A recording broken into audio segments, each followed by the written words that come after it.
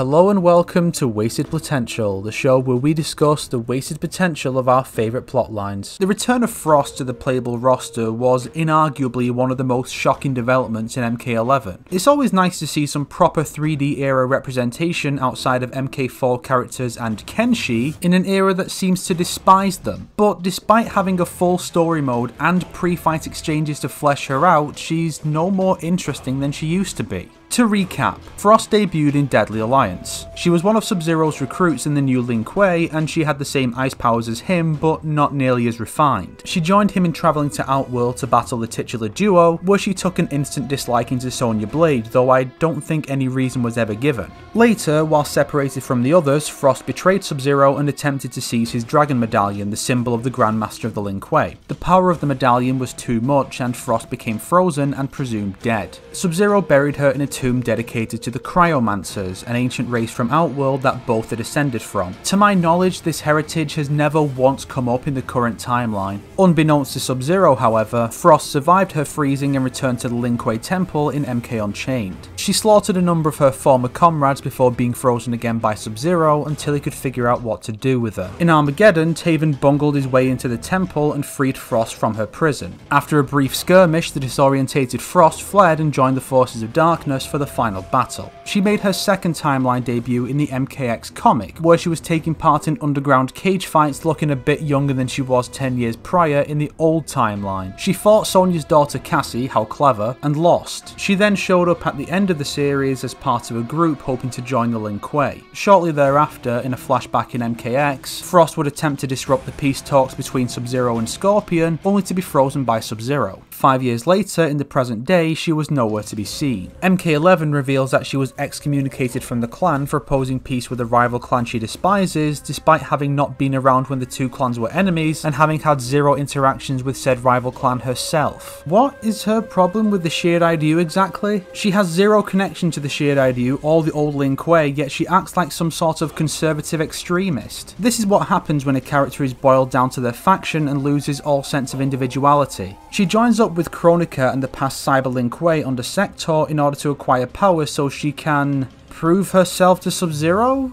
She says that Sub-Zero held her back like she was Anakin Bloody Skywalker and he or Scorpion kicks her ass. She doesn't even go with the rest of the Cyber Lin Kuei to attack the SF base, instead remaining absent until 7 chapters later, where she attacks Raiden because she desperately wants his attention despite her only interaction with him being when he told her about the Lin Kuei? Why? Why does she suddenly want his attention? Raiden fries her brain or something and takes out the Cyber Lin Kuei for good. Her final defeat doesn't come at the hand of Sub-Zero, her former mentor, because he's already had his chapter. Frost is just so petty and pathetic. Originally she wanted power for its own sake, which combined with her spiky hair and blue costume really just made her a gender swapped Vergil without the backstory to make her interesting. I need more power. Now she's desperate to prove herself to others, is vehemently against ending a rivalry she has zero stake in, and is suddenly all about cyberization. What the hell even is this character? It's like they wrote this role for Sector or Triborg who would try to reclaim the clan from Sub-Zero and maintain its purity, but then decided they wanted to bring back Frost and didn't want to cut such a valuable character as the Collector to free up space, so they removed the cyborg and gave his role to Frost instead. And considering how into the cyberization she is, it's baffling that she's not nearly as automated as the male cyber ninjas looking notably more human. I get that she's undergone Kronika augmentation instead, but it comes off like those fantasy races that have ugly, inhuman males, but the females are just attractive women with very few inhuman features. That or some anime-inspired Rule 63 Cyber Sub-Zero from DeviantArt.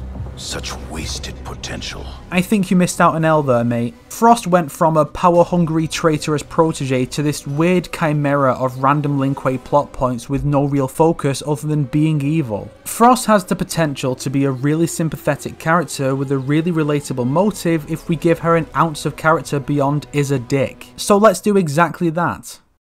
Go back to her debut as Sub-Zero's apprentice. Maybe she heard about Sub-Zero and sought him out. Maybe, like in 2011, she was in the Lin Kuei database as a person of interest during the invasion, and Sub-Zero goes through these files to find candidates for his revival of the clan. Either way, she joins the Lin Kuei and is given the name Frost. In gameplay, Frost originally sent ice blasts along the ground, suggesting her powers are weaker than Sub-Zero's or that she simply cannot control it enough to send an ice blast through the air yet. The latter is the case for our story, possibly being unable to cryogenically freeze people, only freeze them to death. She has the potential to be as powerful as Sub-Zero, but she has a long way to go to get there. He does his best to train her while also training the rest of the initiates, but it's not enough. She lacks confidence you see, every time she sees Sub-Zero perform some incredible feat with his powers, she feels more and more inadequate. All that really separates the two is that he has had decades of training and an older brother to learn from to hone his skills and master his abilities. Frost has had none of that, so she looks utterly pathetic by comparison. And the gap is only widened by the Dragon Medallion, which enhances his abilities significantly. Her rivalry with Sonya comes as a result of her frustration at feeling and being treated like a rookie. Sonya means nothing by it, of course, Frost is a newbie alongside warriors with a decade of experience fighting Outworlders, but it sets her off. This then is why Sub-Zero and Frost travel separately from the others, to give Frost time to cool off and to keep her from jeopardizing this important mission. This does nothing for her confidence. This is what drives her into desperation. She is so desperate to control her abilities and be seen by her mentor and these legendary heroes of Earthrealm as more than an inexperienced burden, that she steals Sub-Zero's Dragon Medallion as he sleeps. The medallion is too much for her to handle and she is consumed by her own freezing ability. Sub-Zero is then impacted by Frost's supposed death more than not at all. He failed to adequately train her which led to her downfall, like Obi-Wan with Anakin. He blames himself and vows to never allow himself to fail another of his students. But Frost lives, awakening alone in a tomb in Outworld, feeling abandoned by Sub-Zero. Either due to the delirium she is said to have experienced in her Unchained ending, or simply from being left alone with her own thoughts as she makes her way back home, her mind slowly turns against Sub-Zero, blaming him for her lack of progress and vowing to kill him and take his place as a more competent Grandmaster. She is offered greater control over her powers by the villains to explain her joining them. Maybe it's Noob Saibot, the original Sub-Zero, who offers her this control during his assault on the Lin Kuei. Regardless, she never acquires this control, instead dying in the battle in Edenia. Using the power of Blaze to restore his brother and help Frost through her numerous issues would have been a far better ending for Sub-Zero in Armageddon than becomes an ice god that the Elder Gods want to destroy.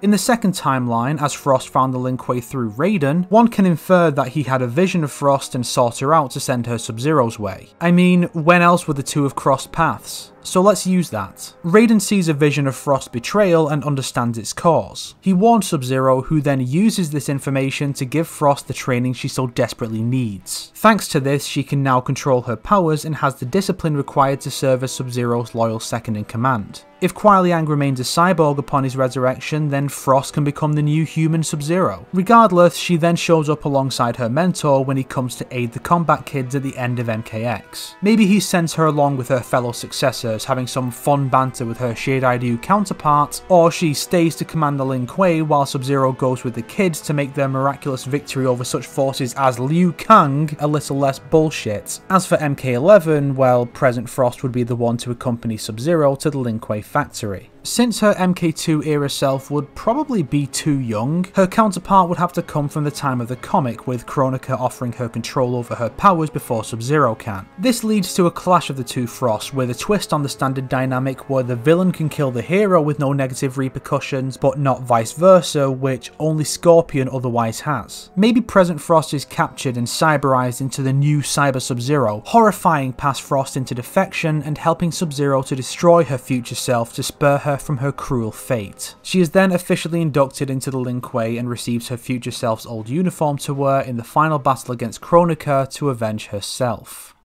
It really does seem like NetherRealm settled on bringing Frost back for MK11 before they had any idea what they were even going to do with her.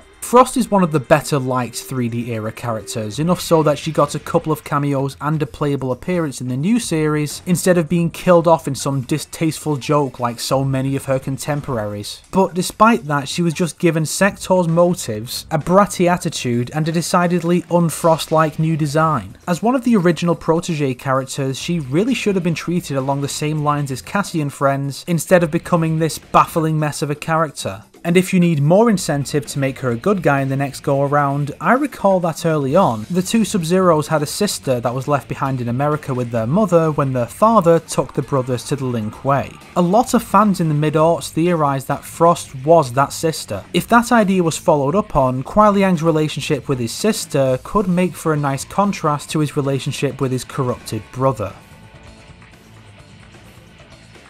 If you liked this video, why not subscribe and support me on Patreon like these fine people here? If not, then make sure to share it with your enemies so they can suffer along with you.